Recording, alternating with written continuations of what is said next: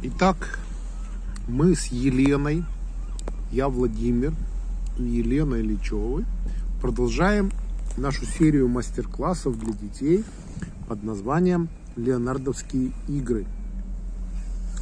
И вот наша сегодняшняя тема будет называться «Дремучий лес». Что мы будем делать сегодня, Елена? Мы, во-первых, хотим, чтобы вы все умели рисовать количество деревьев, которые окружают нас всегда со всех сторон. Вот, допустим, вот эта картина называется «Воскресный день на льду», когда две девчонки в тайне от родителей убежали из дома и даже не оделись как следует. Главное было схватить шапки, варежки и коньки.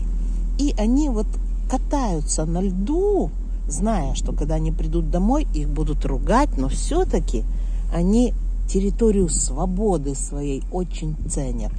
А вокруг них домики с дымком, заснеженные поля, ледяные э, озерки, за, э, э, застеленные льдом, так, и множество деревьев без листьев. Видите, деревья переплетены. И чтобы мы могли делать такие картины, мы сейчас покажем вам, как делать дремучий лес переплетенных картин, переплетенных э, переплетенных деревьев. деревьев, да, извините. И вот, допустим, у нас вот такой листик с вами есть. И давайте мы нарисуем э, место, где земля, укоренение деревьев. И вот первое деревце пойдет, да, под каким-то наклоном, да, вот веточка пойдет одна, вторая, и, допустим, третья пойдет веточка. Вот укоренили мы деревце, да? А нам надо еще второе деревце, смотрите, переплети, переплести с первым. И вот мы начинаем второе деревце растить. И пошли уже, видите, под другим наклончиком веточки за первым деревцем. И вот туда тоже переплели, да? Так, а третье дерево, смотрите, оно за этими двумя, и оно, видите, повалилось ветром, и, допустим, пошло вот так, у него ветки вот куда пошли, знаете. Вот. И вот сюда, так. А, допустим, следующий блок деревьев пошел в другую сторону расти, да? Вот.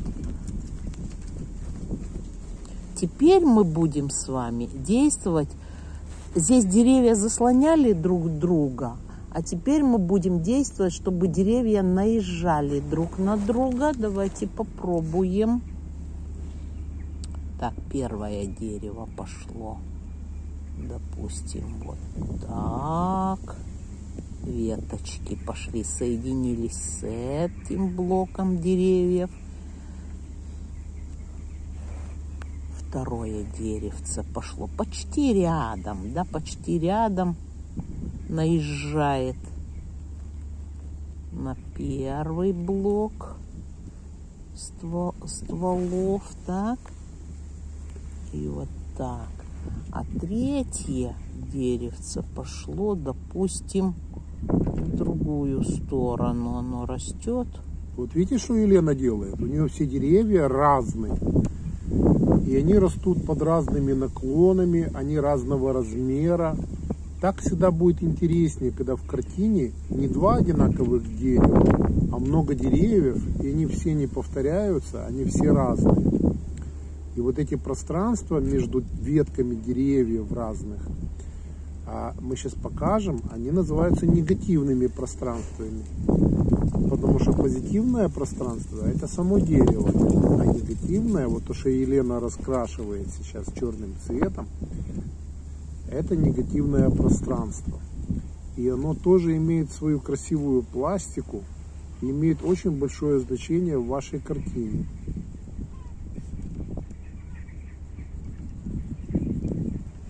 Как нам показать, что одно дерево наехало на другое, допустим?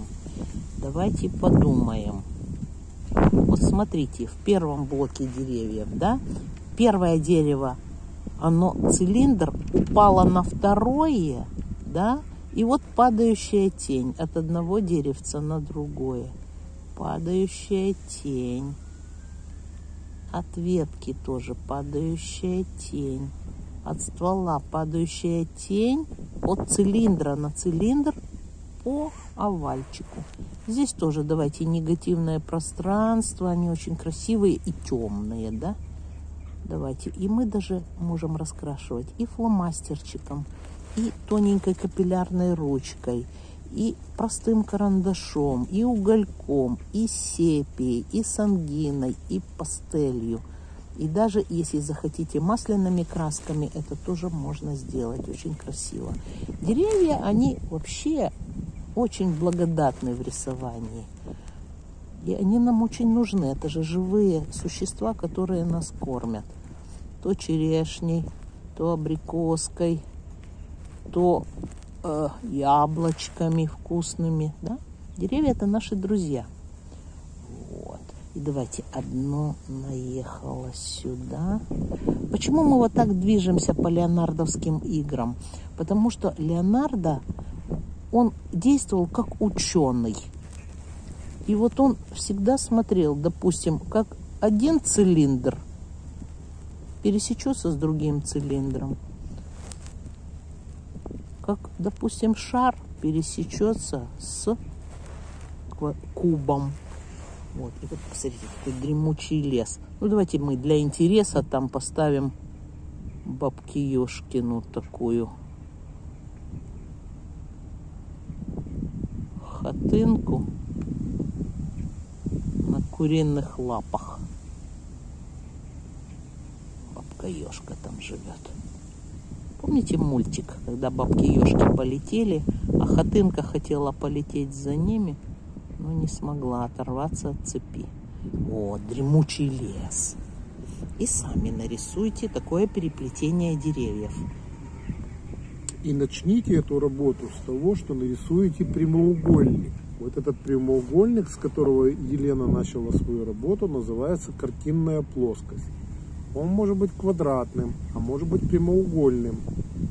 Это уже зависит от того, какая у вас фантазия, что вы хотите показать. Панораму леса, тогда у вас будет длинный прямоугольник. А если хотите показать какой-то фрагмент, например, с избушкой, то сделайте квадрат. Здесь, допустим, дупло, и в дупле сидит сова и предупреждает бабку-ешку о приближении каких-то других сказочных существ. Вот такой вот урок. А пароходики на нашей красивой реке Рейн продолжают трудиться.